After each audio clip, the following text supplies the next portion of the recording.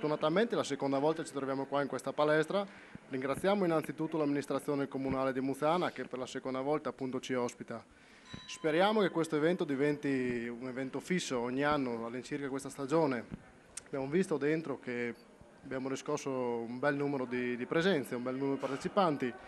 Oggi sono coinvolti all'incirca otto società di box da tutto il Triveneto, la più lontana arriva da Ravenna, quindi direi che ci siamo spostati un po' in là.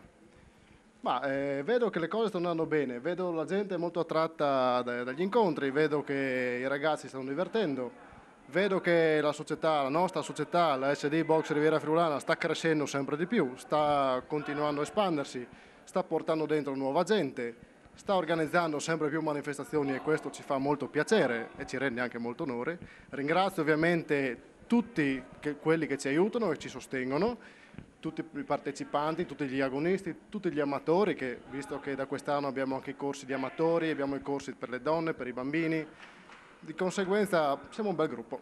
In questo momento abbiamo circa 40 tesserati, e tra appunto, come dicevo prima, tra amatori, tra agonisti, tra donne, ragazze appunto agoniste e amatrici anche queste. Allora, dall'anno scorso ci siamo spostati di, di palestra, come avevo già accennato, e mm, siamo sempre qua a Muzzana, nell'ex palestra, nell palestra delle scuole elementari, dove abbiamo adibito appunto degli spazi, uh, un ring, dei sacconi, abbiamo costruito una, una, piccola sede dove potersi allenare tranquillamente. Siamo all'incirca una decina di persone, eh, tra presidente, vicepresidente, vari mm, simpatizzanti, amici e quant'altro.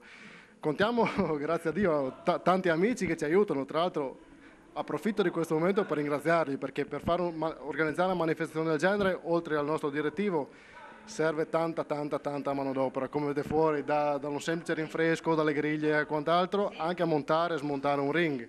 Sembra una stupidaggine, sono ore e ore di lavoro e, e tanta, tanta gente coinvolta. Grazie a Dio c'è.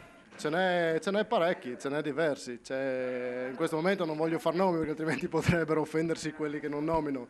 Dico solo che abbiamo diverse, diverse persone che si stanno impegnando molto e stanno ottenendo diversi buonissimi risultati.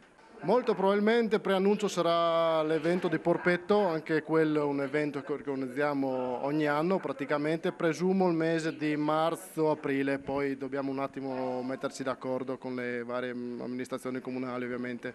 I corsi sono senz'altro aperti a tutto, tra l'altro gli interessati possono rivolgersi al nostro sito internet, possono telefonare, possono venire a visitare la nostra palestra, hanno una settimana gratuita di prova dove possono un attimino capire come funziona il mondo della box e finalmente togliamo ogni dubbio sul famoso detto della box che ti rompono il naso, che ti fracassano la faccia, che sono tutte dicerie di paese che sono completamente inutili, non è per niente vera sta cosa qua, anzi approfitto per invitarvi a vedere come funziona veramente la box.